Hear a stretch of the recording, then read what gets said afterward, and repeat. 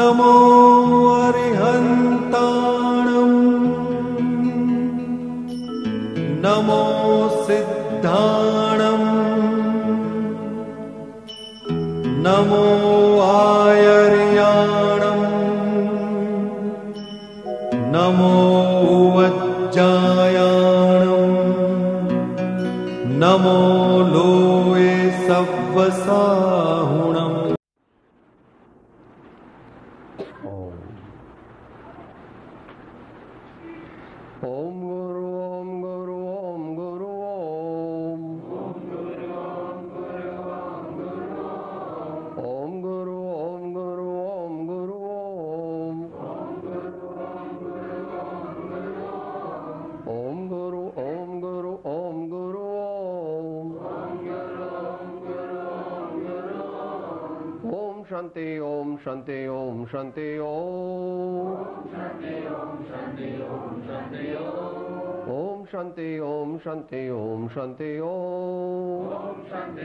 शांति ओम शांति ओम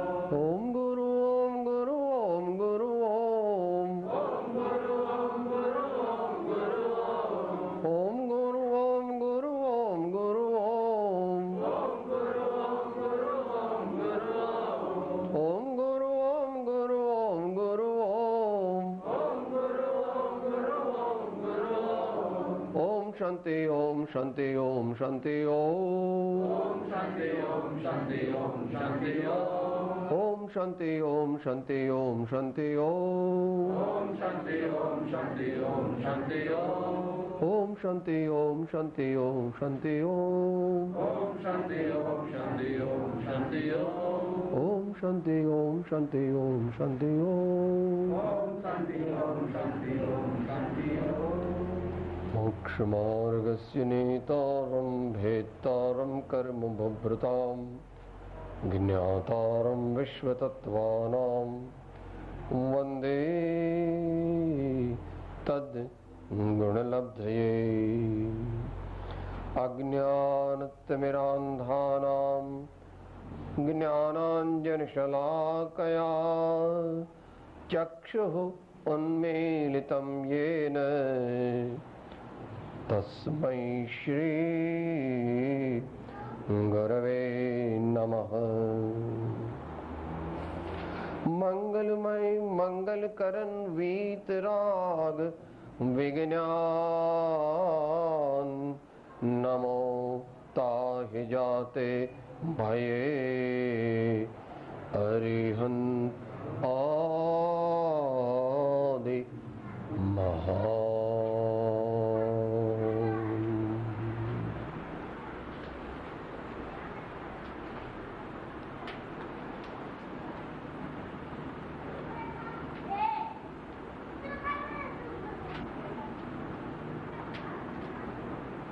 स्वाध्याय का आज का विषय थोड़ा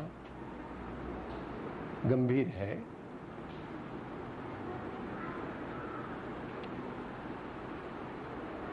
कुछ पारिभाषिक शब्द भी आएँगे। उसको सादे शब्द में समझने का प्रयत्न करेंगे हम।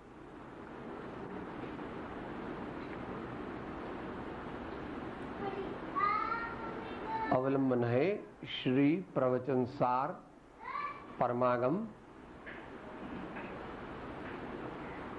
इसकी गाथा संख्या 199 199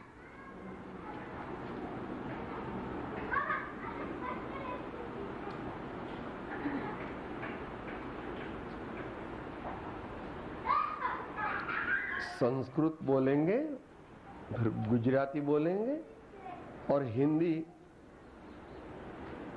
टीका अमृत चंद्राचार्य देव की है। उसके अनुसार समझने की कोशिश करेंगे।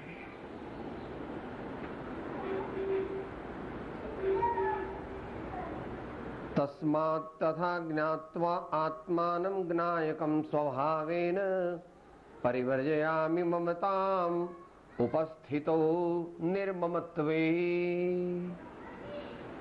સાથે બોલી ગુજરાતી આવડે છે ઘણાને એ રીત તે આત્મને જ્ઞાયક સ્વભાવે જાણીને પરિવાર જો છો હો મા મત વનેર ભાવમાં હો સ્થિર રહો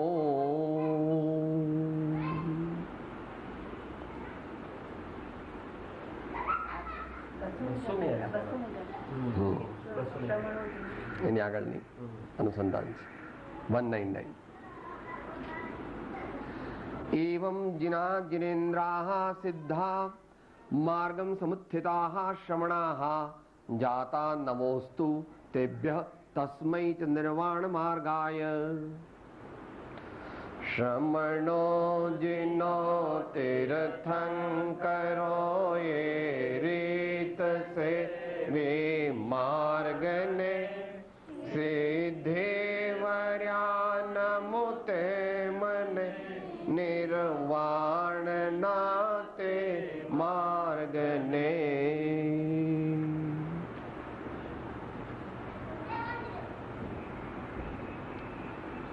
जिन, जिनेन्द्र और श्रमण, अर्थात सामान्य केवली तीर्थंकर और मुनि, इस पूर्वोक्त प्रकार से मार्ग में आरूढ़ होते हुए सिद्ध हुए। नमस्कार हो उन्हें और उस निर्वाण मार्ग को।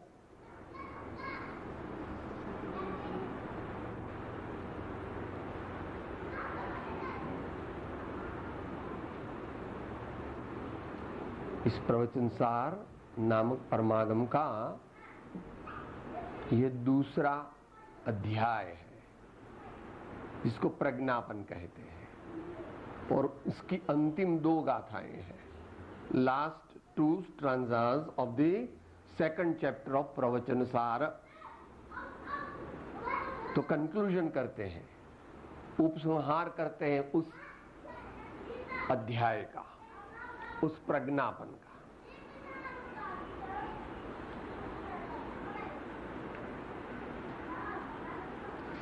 क्या कहते हैं आचार्य? सभी सामान्य चरम शरीरी, तीर्थंकर और अचरम शरीरी मुमुक्षु, इसी यथोक्त शुद्धात्म तत्व प्रवृत्ति लक्षण विधि से प्रवर्तमान मोक्ष मार्ग को प्राप्त करके सिद्ध हुए। किंतु ऐसा नहीं है कि किसी दूसरे दूसरी विधि से भी सिद्ध हुए हो। श्रमणो जिनो तीर्थंकरो ए रीत सेवी मार्ग ने। इसकी टीका चल रही है। सभी सामान्य चरम शरीरी।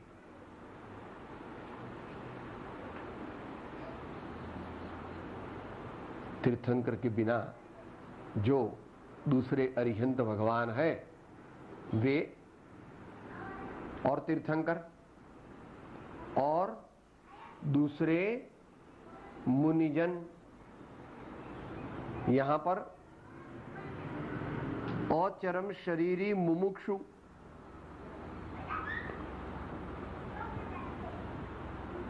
वर्तमान काल में यहाँ से पूर्ण मोक्ष की प्राप्ति संभव नहीं है। आचार्य अपने को भी उसी में समाविष्ट करते हैं। आचार्य का भी मोक्ष नहीं हुआ है, यानी पूर्ण मोक्ष नहीं हुआ है। तो यानी सभी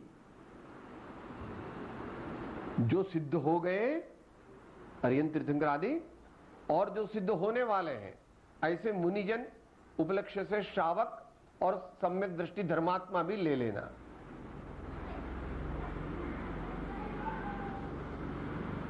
यथोक्त शुद्धात्म तत्व प्रवृत्ति लक्षण विधि से प्रवर्तमान मोक्ष मार्ग को प्राप्त करके सिद्ध हुए।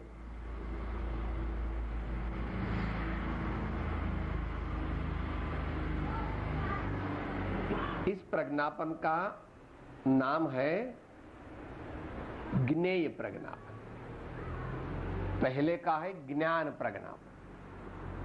ज्ञान प्रज्ञापन, ज्ञान मैना आत्मा का मुख्य गुण है।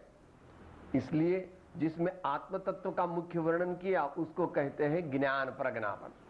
और जिसमें दुनिया के पदार्थ दिखते हैं, ऐसे जो दुनिया के और पदार्थ है, उसका जिसमें वर्णन किया, उसको कहते हैं ज्ञेय प्रज्ञापन।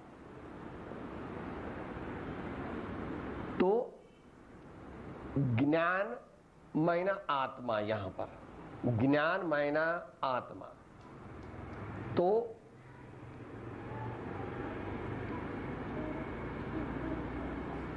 इसी यथोक्त यथोक्त मैंने आ, जैसा आगे कहा गया वैसा। इसलिए मैं कहता हूँ कि इसकी पूरी समझ तो नहीं आएगी, क्योंकि यह जो गाथा है, वह लास्ट बट वन है। इसके बाद आचार्य महाराज निर्विकल्प आत्म अनुभूति में चले जाते हैं और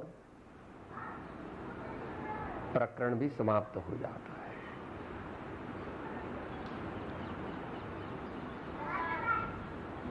आगे जैसा कहा वैसा। क्या कहा आगे?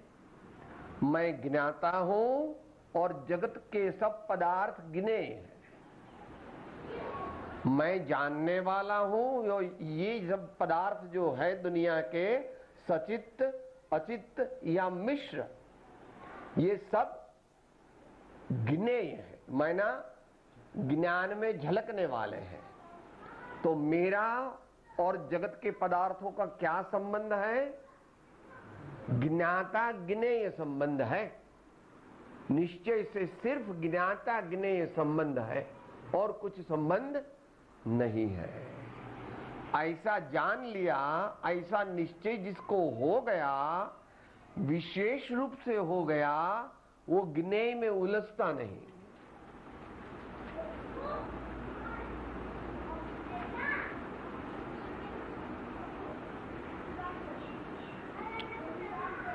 यथार्थ ज्ञान उसी को कहते हैं,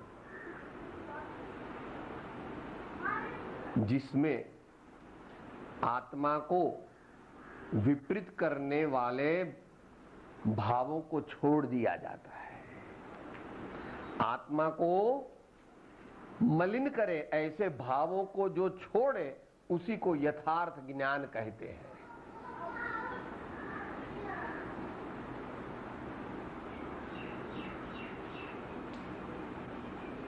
ऐसा भी कहते ज्ञान से फलम विरति। ही ऐसा भी कहते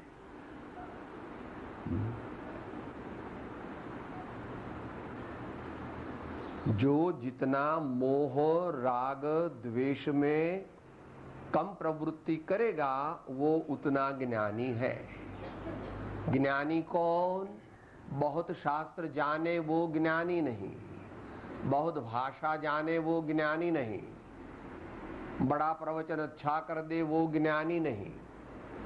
जिसके मोह कम हो। अभी तो बताया, सचमुच तो जब मोह नष्ट हो तो मगर मोह नष्ट किस, क्या मतलब क्या? मिथ्यात्व मोह नष्ट हो। अगर चारित्र मोह भी नष्ट हो गया और मिथ्यात्व मोह भी नष्ट हो गया, तब तो वो परमात्मा हो जाएगा। तब तो वो परमात्मा हो जाएगा। फिर वो ऐसा वक्ता रहेगा या ऐसा कहने वाला शास्त्र लिखने वाला भी रहेगा? नहीं। भगवान शास्त्र लिखते कोई भी भगवान शास्त्र लिखते नहीं है। तो ज्ञान किसको कहते हैं? इसका वचनामृत में वर्णन चरणान युग की पद्धति और द्रव्यान युग की पद्धति को समन्वय करके आया है।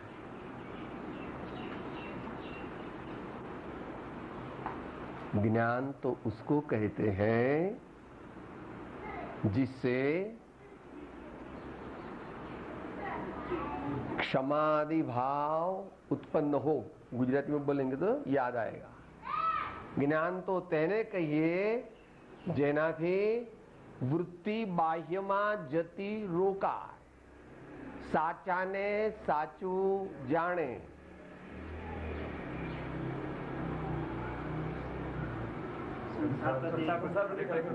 સંસાર પરથી ખરેખર પ્રીતિ ઘટે જેના વડે આત્મામાં ક્ષમા આદિ ગુણ પ્રગટે તેનું નામ જ્ઞાન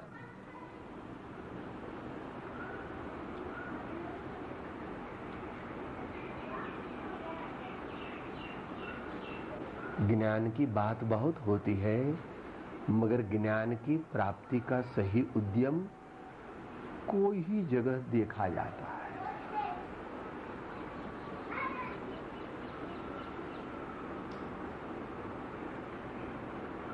विद्वत्ता अलग है, संतत्व अलग है। हालाँकि दो साथ में हो तो बहुत अच्छा मगर दो बात अलग है। विद्वत्ता है, वो तो क्षयोपम ज्ञान का फल है। और संतत्व है, वह तो मोहनी के नाश के उद्यम से और सफल उद्यम से संतत्व प्रकट होता है। जिसका मोह जितना कट गया, वो इतना बड़ा महापुरुष है। और जिसका क्षयोपम भी अच्छा हो तो वह भी ठीक है। मगर वह अंतिम ध्येय नहीं है कला आया रात को आया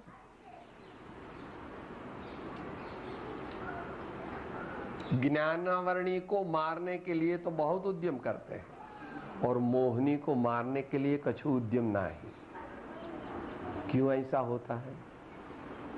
क्योंकि सच्चा दुश्मन तो मालूम नहीं हुआ। ज्ञानावरणी भी मारने योग्य है, मगर ज्ञानावरणी मारना वो उद्यम सही नहीं है। मोहनी मीटेगा तो ही सच्चा ज्ञान होगा। कितना भी ज्ञान क्वांटिटेटिवली हो जाए, मगर मोहनी नहीं मरा तो जितना भी ज्ञान है, वो सब अज्ञान ही कहा जाएगा। कहा जाएगा नहीं, है। उपचार से नहीं कहा गया। बहुत ज्ञान हो, मगर मोह विद्यमान हो तो उस ज्ञान को अज्ञान कहते हैं।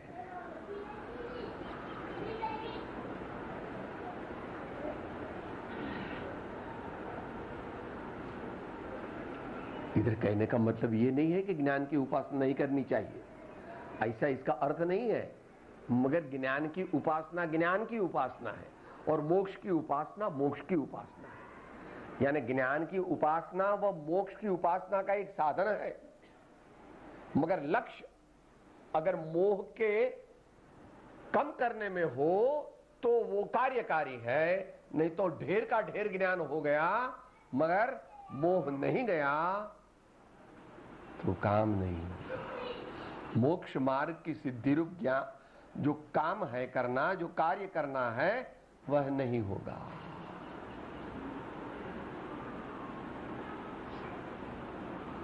तो ये बात चल रही है कि यथोक्त शुद्धात्म तत्व प्रवृत्ति लक्षण विधि से तो जब यथार्थ ज्ञान प्राप्त किया तो क्या ज्ञान प्राप्त किया? मैं ज्ञाता हूँ और जगत के पदार्थ गिने ही इसका आगे आया है और आगे और आएगा। मैं किसी का स्वामी न था, मैं किसी और पदार्थ का न स्वामी हूँ और मैं और किसी पदार्थ का स्वामी न हो सकूँगा। प्रत्येक पदार्थ अपना स्वामी स्वयं है। कोई किसी का स्वामी नहीं है। यह एक निश्चय नहीं से विश्व व्यवस्था है। इसको कहा ज्ञाता ज्ञेय संबंध है अन्य स्वस्वामी आदि अन्य कोई भी संबंध परमार्थ से नहीं है। ऐसा जिसने सही रूप से जाना, वो क्या करेगा?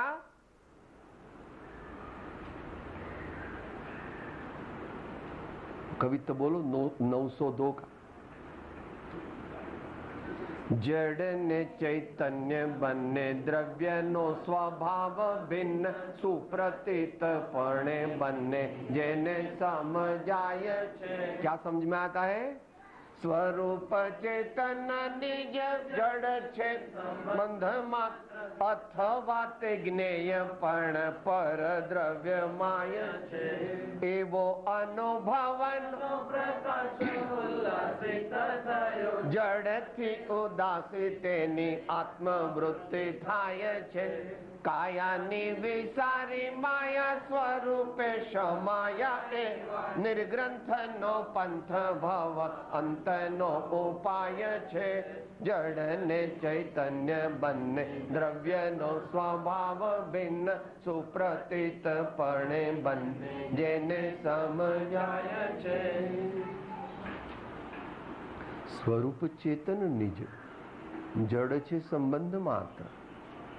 अथवा गिनेय, पर द्रव्य मै अनुभव नो प्रकाश उल्लसित शुद्धात्म तत्व प्रवृत्ति लक्षण विधि से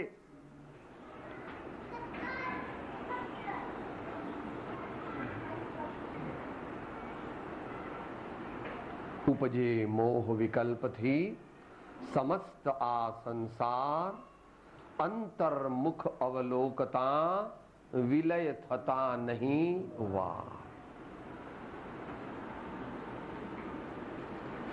थोड़ी कठिन तो गाथा है, मैंने पहले ही कहा था। यहाँ विधेयात्मक दृष्टि से आचार्य कहते शुद्धात्म तत्व प्रवृत्ति लक्षण लक्षित।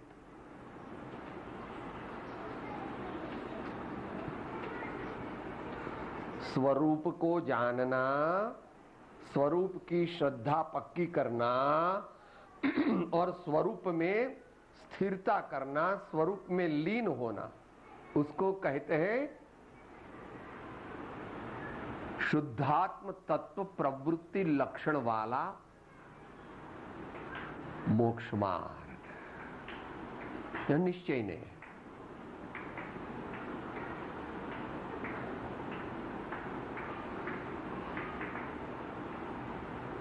मैं सिर्फ़ ज्ञायक हूँ और दुनिया के पदार्थ है, उसका और मेरा कोई स्वस्वामी संबंध नहीं है। ओनरशिप ट्रस्टीशिप सिद्धांत बताया था। मुंबई मुंबई में हुआ ना?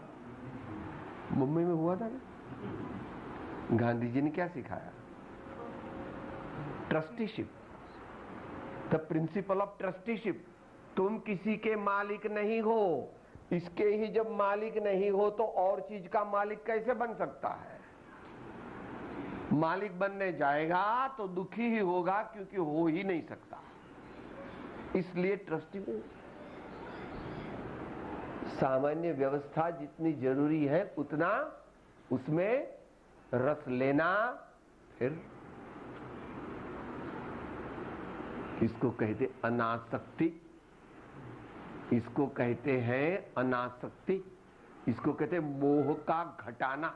मोह का घटाना। ये मेरे हैं, मैं उनका हूँ, ऐसा भाव नहीं करना। एकत्व भावना। एकत्व भावना।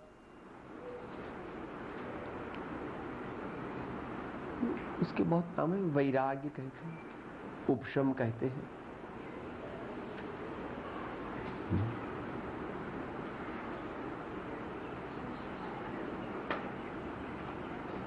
जब तक ऐसी योग्यता न हो, तब तक अध्यात्मता शास्त्र समझ में नहीं आ सकता।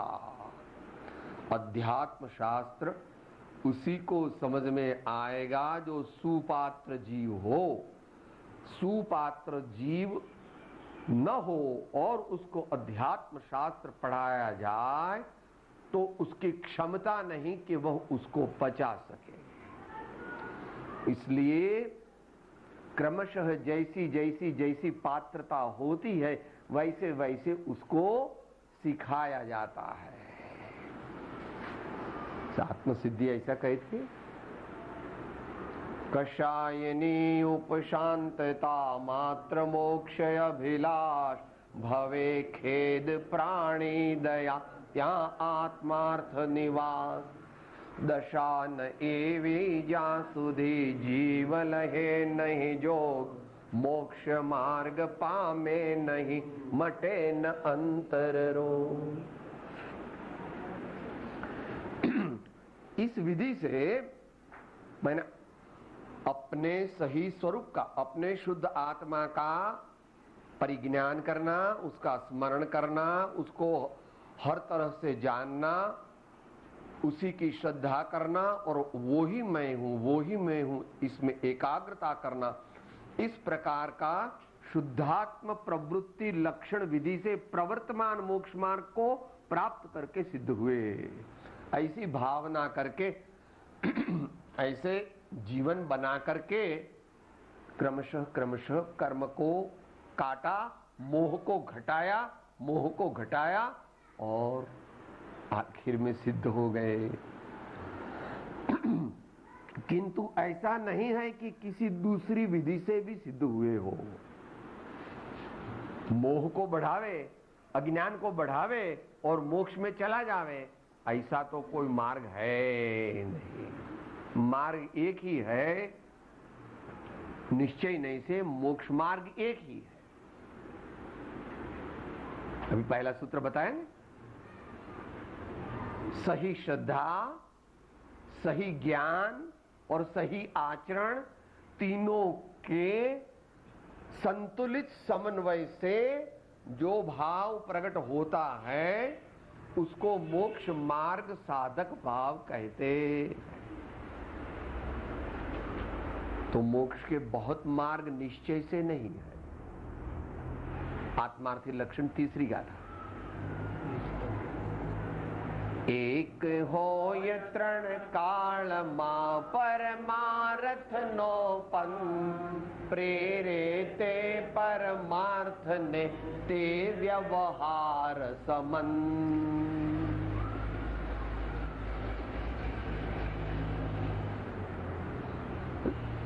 साधन, साध्य एक है और साधन अनेक है। साध्य एक है, साधन अनेक है। साधन अपनी अपनी कक्षा के अनुसार होंगे। साधन श्रावक के लिए तो कहा जाएगा, देव पूजा, गुरु पास्ति स्वाध्याय, संयम, तप, दानम, चैती गृहस्थान षट कर्माणी दिने दिने। ऐसा कहा जाएगा। आचार प्रधान दृष्टि से। प्रमाण से 21 गुण कहे जाएँगे। लज्जावंत दयावंत प्रसन्न प्रतीतवंत पर दोष कोठक या पर उपकारी है। ऐसे बा, बाकी समझ लेना 21 गुण। साधन अनेक है। जो साधन जहाँ घटित होता है उस साधन को वहाँ स्वीकार करना चाहिए। मगर दृष्टि है वो आत्मा पर रखने की कोशिश करनी चाहिए। थोड़ा कठिन है। निश्चय वाणी सांभली, साधन त्यजवानो निश्चय राखी लक्ष्य मा साधन करवासो पूजा करूँगा तो बंद होगा। पूजा नहीं करना। भक्ति करूँगा तो पुण्य लगेगा, पुण्य नहीं करना। दान दूँगा तो पुण्य होगा, दान नहीं करूँगा। ऐसा नहीं है।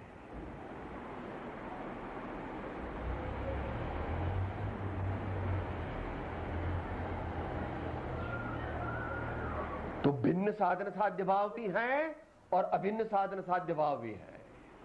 दोनों को जैसा है वैसा स्वीकार करना चाहिए।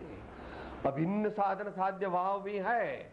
उसको अपनी अपनी कक्षा में, अपनी अपनी स्थिति में, अपनी अपनी क्षमता के अनुसार, अपनी अपनी जो भी मोक्ष मार्ग में स्थिति हो, उसके अनुसार उसको स्वीकार करना चाहिए। मगर उसमें रुक जाना नहीं चाहिए, उसमें उलझना नहीं चाहिए, उसमें कृतकृत्यता का अनुभव न करके आगे की, यानी शुद्ध आत्मा के लक्ष्य को विस्मृत नहीं करना। शुद्ध आत्मा की श्रद्धा को विस्मृत नहीं करना। और आत्मा की स्थिरता को, आत्मा के चारित्र को विस्मृत नहीं करना। थोड़ा कठिन है। आदमी एक, जो करता है, उसी में लीन हो जाता है। जो काम, जो कार्य करता है, उसी में लीन हो जाता है। यह मिथ्या दृष्टि का लक्षण है। और कुछ कार्य करने पर भी उसमें संपूर्णतः लीन नहीं हो जाना यह सम्यक दृष्टि का लक्षण है।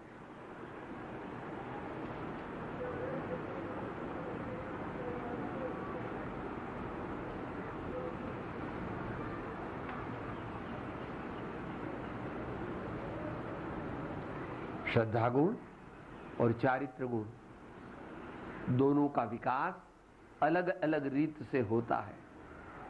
श्रद्धा गुण तो विकसित हो जाता है, मगर चारित्र गुण विकसित होने के लिए बहुत समय लगता है। व्रत इतना भी हो, सच्चा तो उतना और और और और और, वो बढ़ता जाता है। मगर श्रद्धा में ऐसा नहीं है। कोई के मैं आधा तो सम्यक दृष्टि हूँ और आधा तो मिथ्या दृष्टि हूँ। तो ऐसा नहीं होता। आधा सम्यक दृष्टि और आधा मिथ्या दृष्टि ऐसा नहीं होता। या तो सम्यक दृष्टि है, या तो मिथ्या दृष्टि है। या करणान युग की बात नहीं हो रही हो। वो तृतीय गुणस्थान होता है, उसकी बात नहीं हो। रही मिश्र होता है ना? उसकी बात नहीं हो रही है। यहाँ पर चरणान योग द्रव्यान योग से बात हो रही है। तो मगर कोई कहेगा, मेरा तो अल्प ही चारित्र है, मेरा तो थोड़े ही व्रत है तो हो सकता है, थोड़ा भी व्रत हो, मध्यम व्रत भी हो, महाव्रत भी हो, पूर्ण व्रत तो वर्तमान में नहीं होता,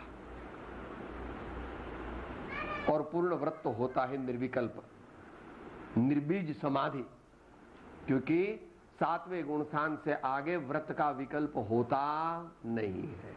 जब व्रत का विकल्प होता है तो छठवां गुणस्थान होता है। तो चारित्र है, वो तो क्रमशः विकसित होता है। और श्रद्धा है, वो तो ऑल और नन फिनोमिनन कहते हैं तो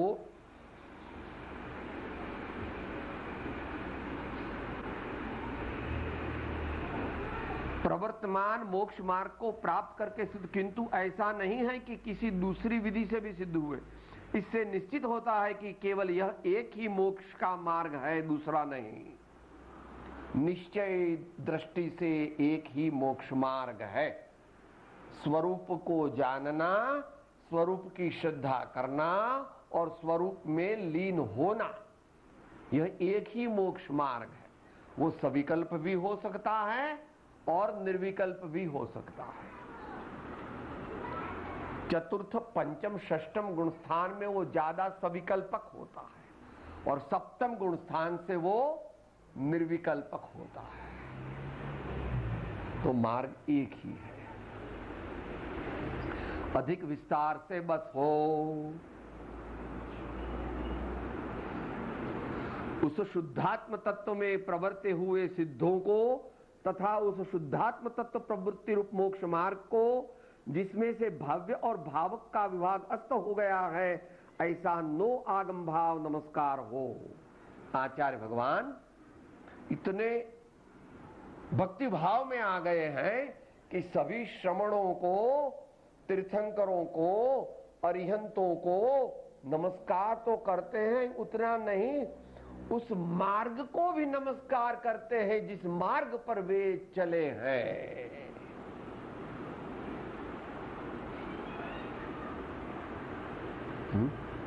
आपको अपने माता पिता बहुत प्रिय लगते हैं तो वे तो चल बसे। दुनिया से चल बसे। मगर आप बड़े आदमी हैं तो उसकी फुल साइज़ पोर्ट्रेट बना करके दीवान खाने में रखते हैं और जो आते बोलते हैं ओ, सेठ जी, आप तो बहुत बड़े आदमी हैं। आपका तो क्या कहना? बोला, हम तो कुछ नहीं है, हम तो बिल्कुल सामान्य आदमी मगर हमारी ये वर्डिल है, उनके पुण्य से हमारी चलती है। ये हमारे माता जी है, ये हमारे पिताजी है, इनके पुण्य प्रताप से हमारी गाड़ी थोड़ी थोड़ी चलती है। ऐसा आप सज्जन होने से ऐसा कहते हैं तो माता पिता तो चले गए तो उनके फ़ोटो को, उनके चित्रपट को आप नमस्कार करके उनको ऐसा ही मानते जैसे हमारे माताजी है, हमारे पिताजी है। वैसे जिस मार्ग पर भगवान चले हैं, मुनिराज चले हैं, उस मार्ग के प्रति भी इतना भक्तिभाव आचार्य को आता है कि मैं उस मार्ग को नमस्कार करता हूँ, जिस मार्ग पर चल करके मुनिराज और अरिहंत भगवान परमात्मा पद को प्राप्त हुए हैं। मगर ऐसा जब नमस्कार करते हैं तो क्या होता है? ये कहते हैं। ये थोड़ा कठिन है समझना। भाव्य और भावक का विभाग अस्त हो गया है, ऐसा नो आगम भाव नमस्कार हो। नमस्कार करने योग्य है परमात्मा और सदगुरु, और नमस्कार करने वाला है भक्तजन या मुमुक्षु साधक। तो यह कहाँ तक चलता है? अमुक हद तक चलता है। बाद में। ध्याता ध्यान ध्येय गत काम, मैं सेवक और मैं हूँ स्वाम। ध्याता ध्यान ध्येय गत काम, मैं सेवक और मैं हूँ स्वाम। बहुत आगे जाता है तो क्या होता है? नवधा भक्ति में। श्रवण, कीर्तन, चिंतन, वंदन, सेवन, ध्यान और लघुता, तब तक तो रह गया। फिर आगे जाएगा तो क्या होगा? समता। और फिर क्या होगा? एकता।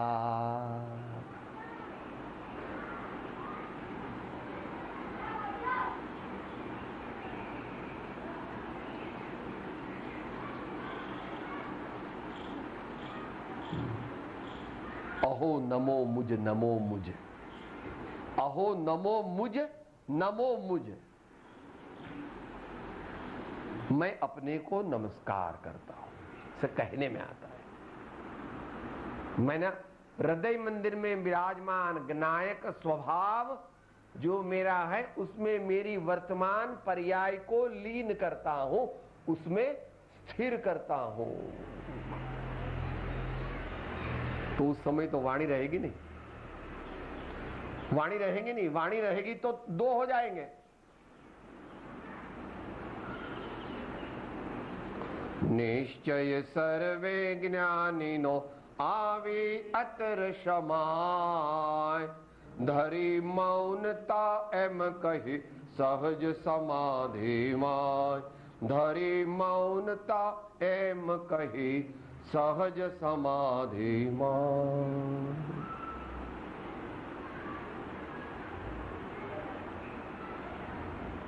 अंतिम कहते हैं, मोक्ष मार्ग अवधारित किया है, कृत्य किया जा रहा है।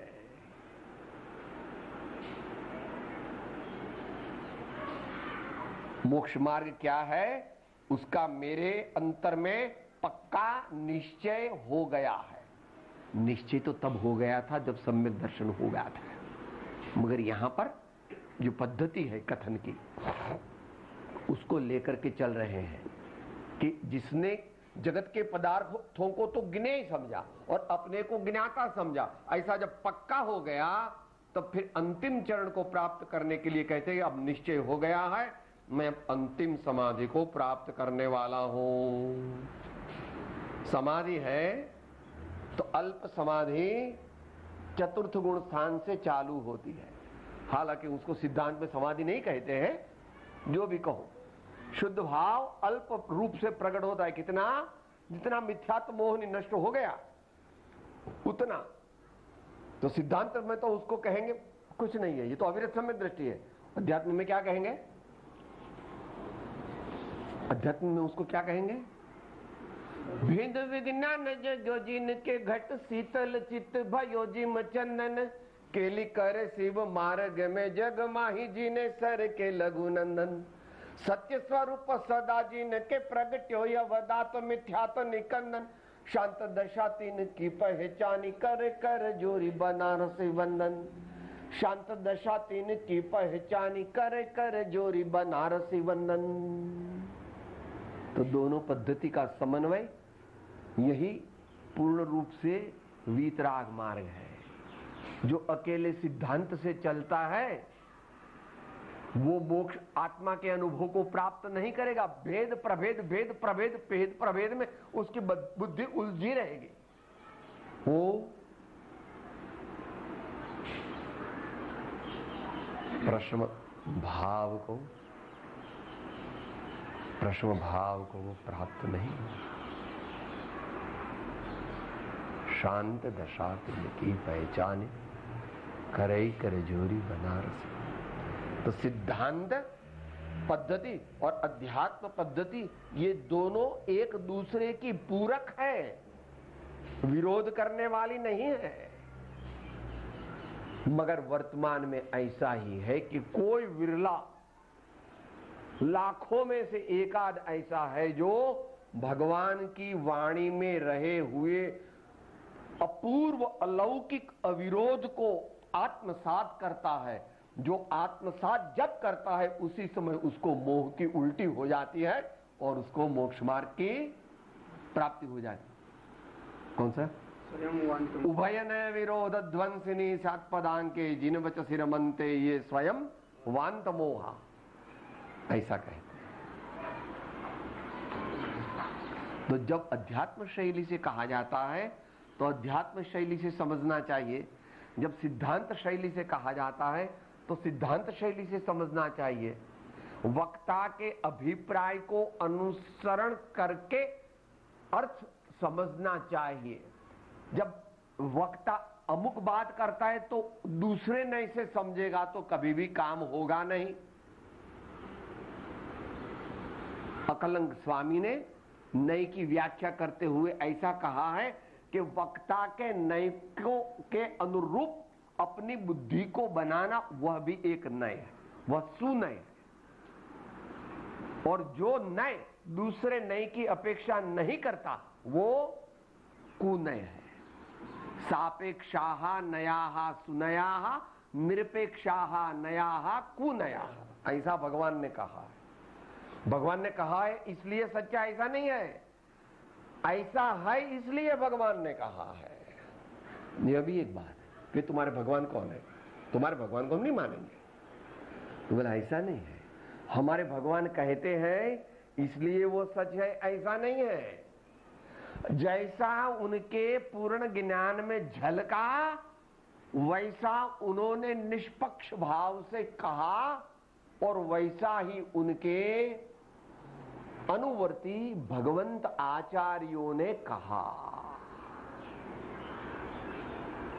इसलिए भगवंत ज्ञानियों की वाणी अपने को श्रद्धा में लाने योग्य है, अपने ज्ञान में बार बार चिंतन करने योग्य है और अपने प्रयोग में, अपने भावों को निर्मल बनाने में बार बार उसका प्रयोग करना चाहिए।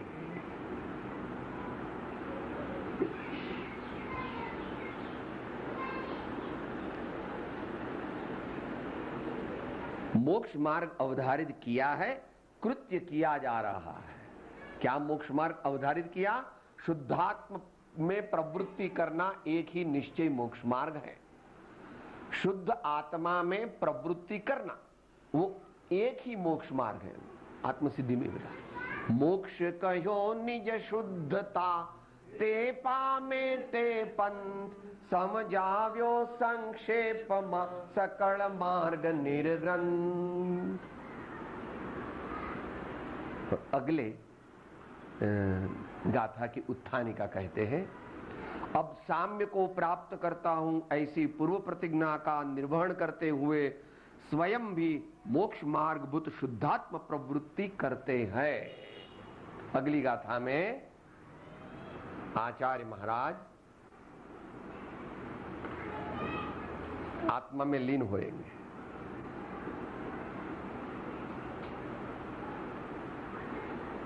यानी क्या किया? माने सब भोजन तो परोस दिया। सब, और जय भी बोल दी। आप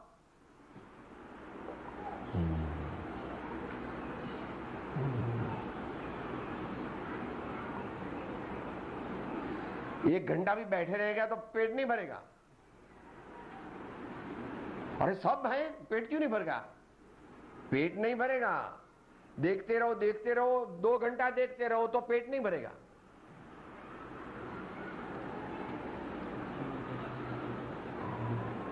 तो आचार्य कहते कि मैंने प्रतिज्ञा की थी। पांचवी गाथा में प्रतिज्ञा की थी। तेषाम विशुद्ध दर्शन ज्ञान प्रधान आश्रम समासाध्य उपसंपद्य साम्यम यतो निर्वाण संप्राप्ति। ही ऐसी पांचवी गाथा में प्रतिज्ञा की थी, उसका निर्वहन करते हुए अभी आचार्य साम्य परम समता रूपी अपने आत्मा में लीन होते हैं। कैसे लीन होते हैं? वो आगे की गाथा में अपने को सुनाएँगे कि समस्त जगत के पदार्थों को सहज ज्ञेय जान करके मैं अपने चित्त को, अपनी चित्त वृत्ति को, अपने उपयोग को समस्त परद्रव्यों से हटा करके अपने एक ज्ञायक भाव में, अपने एक शुद्ध आत्मा में लीन करता हूँ। वो कैसे? वो यथा समय अपन देखेंगे। अब समाप्ति अनुसार